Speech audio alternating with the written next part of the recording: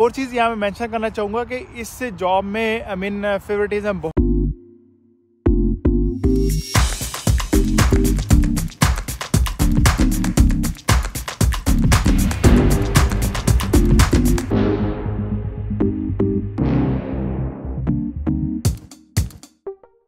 असलम दोस्तों, मैं हूँ जवाद बशीर। आप देख रहे हैं जवाद की दुनिया। आज की वीडियो में डिस्कस करने जा रहे हैं जी सिक्योरिटी जॉब्स के एडवांटेजेस और डिसएडवांटेजेस इसके अलावा मैं सिक्योरिटी जॉब्स के हवाले से काफ़ी ज़्यादा वीडियोस बना चुका हूँ। इस चैनल पे आप यूके अपडेट सीरीज़ प्लेलिस्ट में जाके वो वीडियोस भी देख सकते हैं। अगर आप समझते हैं कि मेरी वीडियो दूसरों के लिए बेनिफिशियल हो सकती हैं तो उनके साथ शेयर भी ज़रूर किया करें। तो चलते हैं जी आज की वीडियो की तरफ़ डिस्कस करते हैं जी सिक्योरिटी जॉब्स के एडवांटेजेस और डिसएडवांटेजेस चलें जी, सबसे पहले डिस्कस कर लेते हैं इसके डिसएडवांटेजेस क्या हैं। तो सबसे पहले चीज़ इसमें आ जाती है कि आप सिक्योरिटी जॉब हासिल करने के लिए आपके पास लाइसेंस होना चाहिए, ठीक है? आप स्टेट वे जाके सिक्योरिटी जॉब हासिल नहीं कर सकते। सिक्योरिटी जॉब हासिल करने के लिए इसका प्रॉपर सिक्स डेज़ का कोर्स होता है, आपने वो क्लियर करना होता है, उसके बाद एग्ज़ाम होता है। एग्ज़ाम क्लियर करने के बाद ही आपको लाइसेंस ग्रांट किया जाएगा, ठीक है? तो कहने का मतलब ये है कि अगर आपके पास लाइसेंस होगा तो आप सिक्योरिटी जॉब कर सकते हैं अदरवाइज़ आप सिक्योरिटी की जॉब नहीं कर सकते। जी देन आ जाता है कि सिक्योरिटी की जो जॉब है, वो आपको स्ट्रेट अवे नहीं मिलती। स्पेशली अगर आप नए हैं तो आपको काफ़ी हद तक स्ट्रगल करनी पड़ सकती है जी सिक्योरिटी जॉब हासिल करने के लिए। उसके अलावा सिक्योरिटी साइड्स या शिफ्ट्स परमानेंट नहीं होती, ठीक है? सपोज़ अगर आपने आज शिफ्ट किया तो कल का नहीं पता आपको साइड मिलेगी शिफ्ट मिलेगी, नहीं मिलेगी।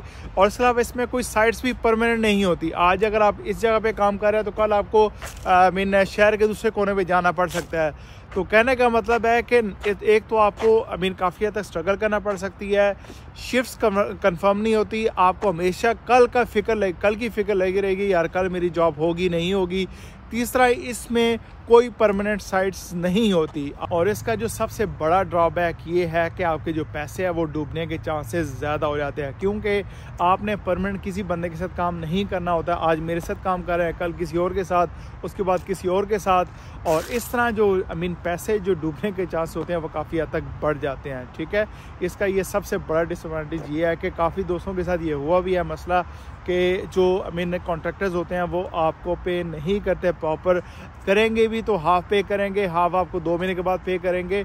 कहने का मतलब है कि आपके जो पैसे पैसे हैं ना, वो डूबने के चांसेस होते ही होते हैं इसमें। अगर इसमें ग्रोथ की बात की जाए तो इसमें ग्रोथ के जो चांसेस होते हैं, वो ऑलमोस्ट ज़ीरो होते हैं, ठीक है? क्योंकि परमानेंट आपने किसी कॉन्ट्रैक्टर के साथ, किसी कंपनी के साथ काम करना नहीं होता तो डिफरेंट कॉन्ट्रैक्टर के साथ आप काम करेंगे तो आपके जो आई मीन ग्रोथ के चांसेस है, वो भी बिल्कुल ज़ीरो हो जाएँगे। देन अगर आपकी कम्युनिकेशन स्किल्स की बात की जाए, आप डेफिनेटली यहाँ पर नए होंगे, आपकी जो इंग्लिश स्पीकिंग है, वो बहुत अच्छी होनी चाहिए। अगर आप मोस्टली जो सिक्योरिटीज़ के जॉब कर रहे हैं, वो मोस्टली हमारे देसी लोग ही हैं, ठीक है? जो सिक्योरिटी की आई मीन जॉब करते हैं। गोरे भी करते हैं, लेकिन उनकी जो आई मीन परसेंटेज है, वो काफ़ी हद तक कम है। जब तक कि आप गोरों के अंदर काम नहीं करेंगे तो आपकी डेफिनेटली जो स्पीकिंग स्किल्स है, ये जो कम्युनिकेशन स्किल्स है, वो नहीं बढ़ेंगी। तो इसमें जो आई मीन मुझे जो लगता है ना डिसएडवांटेज वो ये भी है कि आपकी जो ग्रोथ के चांसेस आपकी जो कम्युनिकेशन आई मीन स्किल्स हैं, उस हवाले से भी आपकी कोई ग्रोथ के चांसेस नहीं हैं। कहने का मतलब यह है कि सिक्योरिटी जॉब में आपकी जो कम्युनिकेशन स्किल्स हैं और ग्रोथ के चांसेस वो भी बिल्कुल ज़ीरो यहाँ मैं एक और चीज़ बताना चाहूँगा कि इसकी जो शिफ्ट्स होती है वो काफ़ी हद तक कैंसिल होती रहती हैं. फॉर एग्जांपल मैं आपको मिसाल ऐसे देता हूँ, यहाँ पे अगर मैं कॉन्ट्रैक्टर हूँ और मेरे पास ए बी सी तीन एम्प्लॉयज़ हैं और एक को मैंने नौ पाउंड पे हायर किया हुआ, एक को मैंने दस पाउंड पे हायर किया और एक को मैंने साढ़े नौ पाउंड पे हायर किया है। तो डेफिनेटली मेरी खुशी होगी कि यार जो कम वाला है ना, कम पैसों पे जो मेरे पास आ रहा है, मैं उसको प्रेफर करूँ, क्योंकि उससे मुझे आई मीन उसकी शिफ्ट से मुझे भी अर्निंग होगी। तो मैं क्या करूँगा ए बी की कैंसिल करके सी को हायर कर लूँगा और मैं आपको कहूँगा कि आप शिफ्ट ख़त्म हो गया वर्ड्स तो इस तरह के चक्कर भी यहाँ पर होते हैं। दरमियान में जितने भी कॉन्ट्रैक्टर या फिर सब कॉन्ट्रैक्टर्स होते हैं, उनकी भी एक कोशिश होती है कि यार हम वो बंदा हायर करें, या उस बंदे को लेके आ जाएँ जो हमसे कम पैसों में एग्री हो रहा है और उससे हमें ज़्यादा अर्निंग हो। तो इसमें ये चीज़ें भी भाई सब बहुत ज़्यादा हैं। एक और चीज़ यहाँ मैं मेंशन करना चाहूँगा कि इस जॉब में आई मीन फेवरेटिज़म बहुत ज़्यादा है, ठीक है? अगर मेरा कोई जाने वाला है तो मैं उसको प्रेफर करूँगा डेफिनेटली अगर कोई नया बंदा है जो मुझे नहीं जानता मैं डेफिनेटली उसको नहीं प्रेफर करूँगा और ना ही मैं उसको शिफ्ट दूँगा, ठीक है? और मैं सिर्फ़ शिफ्ट उसको ही दूँगा जो मेरे जाने वाला है और जो कम पैसों वाला है, ठीक है? तो ये चीज़ें भी इसमें होती हैं तो सिक्योरिटी जॉब हासिल करते हुए आपने इन चीज़ों को भी अपने माइंड में रखना है कि ये ये चीज़ें हमारे साथ हो सकती हैं और अपने आप को मेंटली प्रिपेयर रखें।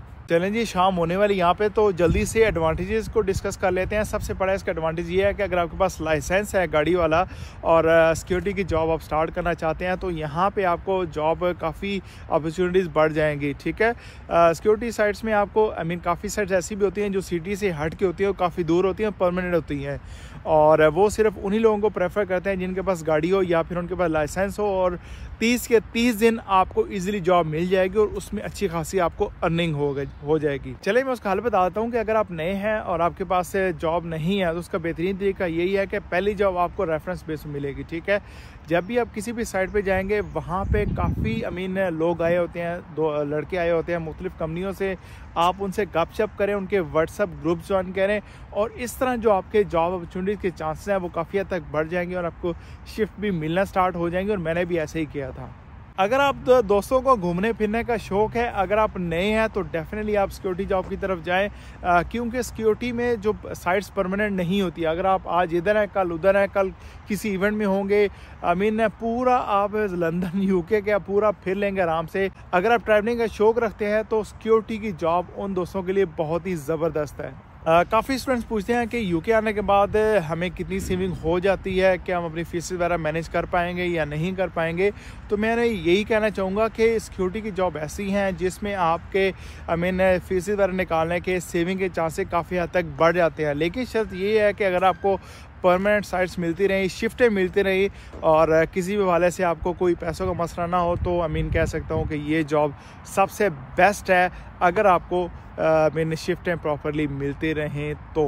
मुझे जो इस जॉब का सबसे बड़ा फ़ायदा ये लगता है, वो ये है कि हम इस जॉब में रोज़ कहीं ना कहीं आई मीन नई जगहों पे जाते हैं, मुख्तलिफ़ साइट्स पे जाते हैं, वहाँ पे डिफरेंट लोगों से मिलते हैं। इससे क्या होता है कि हमारी एक तो कम्युनिकेशन स्किल भी किसी हवाले से बढ़ती है और उसके साथ साथ हमारी जो पी है, जो गपशप है, जो फ्रेंडशिप है, वो भी काफ़ी हद तक बढ़ जाती है और इस तरह हमारे जो बाकी जॉब के चांस हैं, वो भी काफ़ी हद तक इंक्रीज़ हो जाते हैं। तो दोस्तों, ये थे कुछ एडवांटेजेस और डिसएडवांटेजेस सिक्योरिटी जॉब्स के। लास्ट में ये कहना चाहूँगा कि सिक्योरिटी जॉब भी एक लकी ड्रॉ है। लग गया तो वारे न्यारे ना लगे तो आप जहाँ के हैं वहीं पे रहेंगे। एनी हमें अपने आज को बेहतर से बेहतर बनाना चाहिए। तो ये थी आज की वीडियो उम्मीद करता हूँ आपको आज की वीडियो पसंद आई होगी। वीडियो पसंद आई है तो वीडियो को लाइक और चैनल को सब्सक्राइब करना मत भूलिएगा। मिलते हैं नई वीडियो के साथ। अपना बहुत सारा ख्याल रखिएगा। टेक केयर अल्लाह हाफिज़।